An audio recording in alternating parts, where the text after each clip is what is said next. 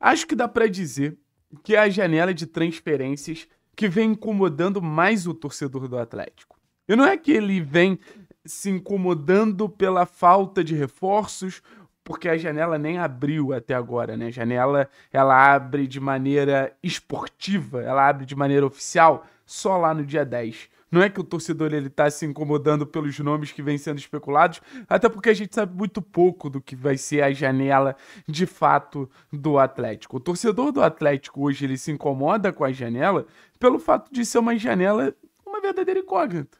Essa janela é uma verdadeira incógnita. O torcedor ele não tem um, um, um cheirinho, um respiro do que vai ser de fato a janela do Atlético. É o que eu tô falando é, com vocês há bastante tempo. Tem gente que está se apegando à falta de informações para acreditar que vai ser uma janela quase que nula por parte do Atlético. Eu continuo achando que não. Eu continuo achando que, nesse momento, uma janela silenciosa do Atlético é tudo que o clube precisa.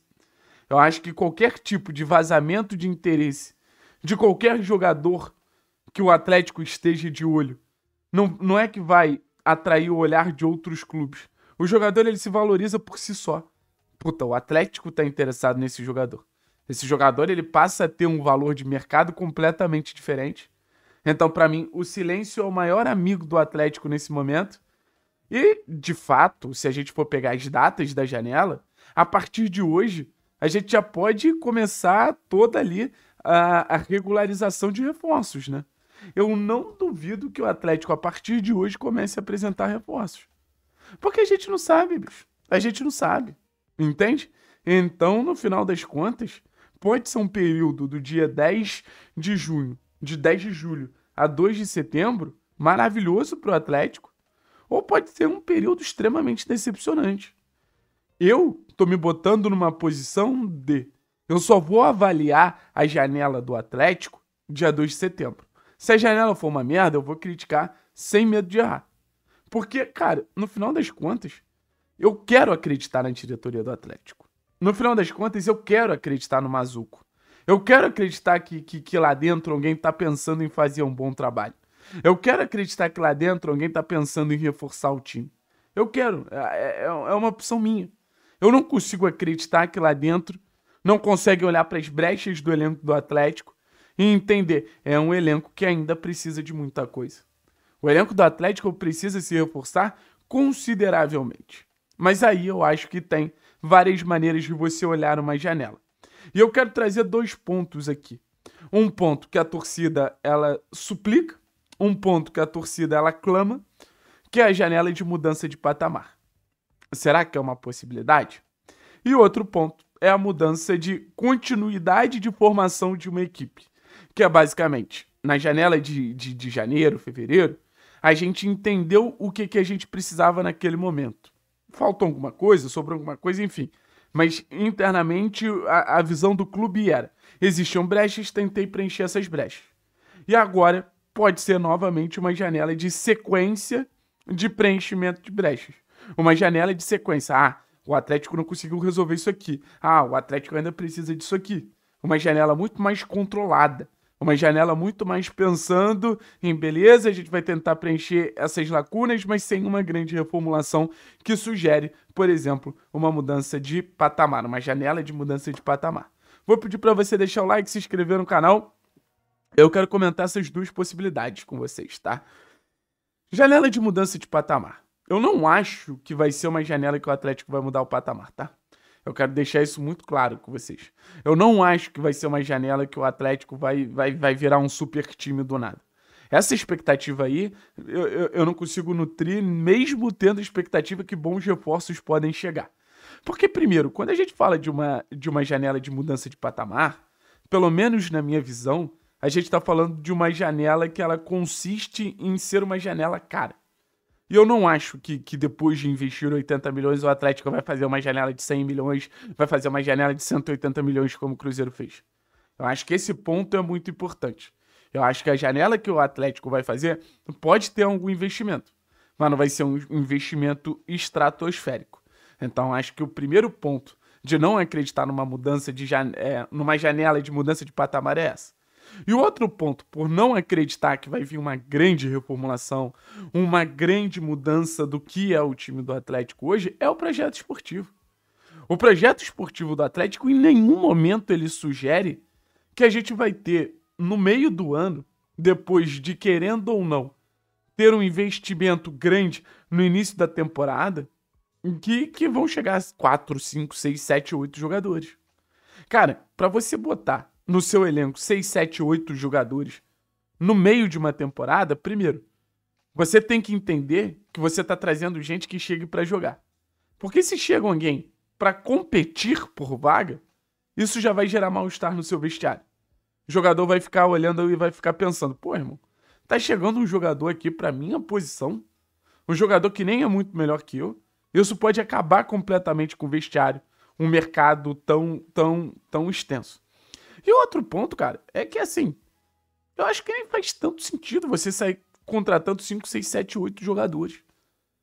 A gente tá em julho e o Atlético ainda não tem padrão de jogo. Se tem alguém dentro do Atlético que imagina que sair contratando 6, 7, 8 jogadores vai fazer o Atlético ser um time mais organizado, vai fazer o Atlético potencializar os jogadores que já estão aqui, vai fazer o Atlético ser um time que, que, que todos os problemas vão ser resolvidos a partir de reforços. Aí, cara, aí essa pessoa vai ter que ser demitida no dia seguinte, porque essa pessoa não tem noção nenhuma de futebol. Não dá pra gente botar expectativa em jogadores que nem chegaram no clube, que eles vão resolver problemas que foram causados por profissionais que estão no clube. Principalmente questão de planejamento, organização, modelo de jogo, ideia de jogo. Reforço é para chegar e tentar suprir um problema ou outro. Janela de meio do ano é para chegar e tentar suprir um problema ou outro. Por isso que eu acho que, que, que esse tipo de papo ele é importante. E não é um papo para tentar brochar o torcedor do Atlético. E não é um papo para tentar frustrar o torcedor do Atlético é um papo pro torcedor do Atlético entender que a realidade do clube, e não é nem uma questão de realidade financeira apenas, uma questão de realidade financeira, de projeto, de, de organização, de, de, de, de gestão de vestiário, em nenhum momento sugere em tantas mudanças. E acho que no final das contas não tem nenhum torcedor que imagina que as coisas elas vão mudar de maneira tão abrupta.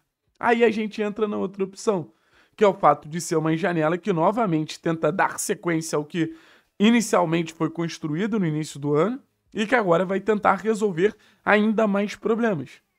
Porque o início do ano, eu volto a dizer, para mim não foi uma janela ruim. O grande ponto é que em nenhum momento da temporada o Atlético teve padrão de jogo, que em nenhum momento da temporada o Atlético teve organização para saber como quer atacar, como quer defender.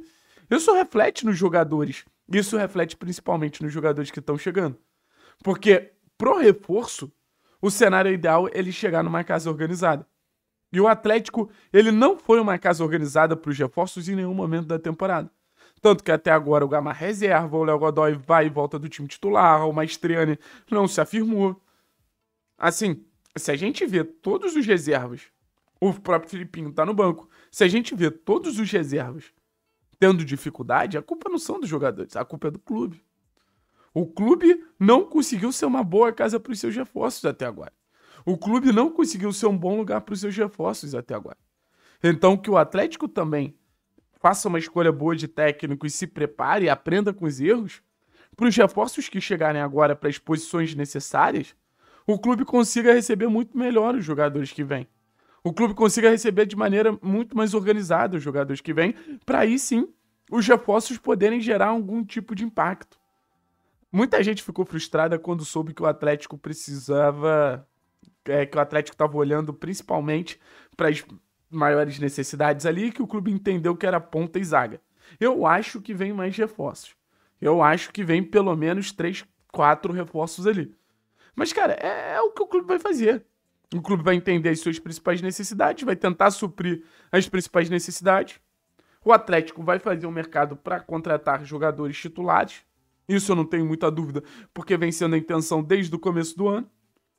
E, cara, a partir disso, é pegar os jogadores que hoje são titulares, botar no banco e dar um, dar um boom no elenco. Dar um boom de qualidade no elenco.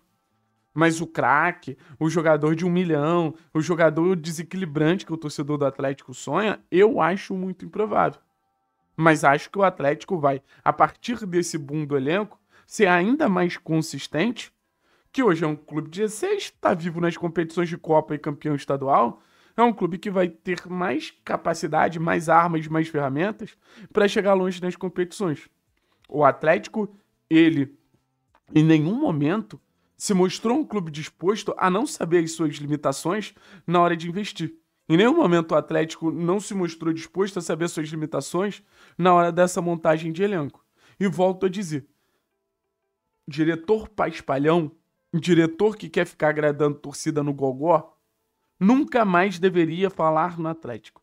Diretor que quer ficar trazendo, porra, assim, sonho que, que, que o clube não tem capacidade de bancar, nunca mais deveria falar no Atlético.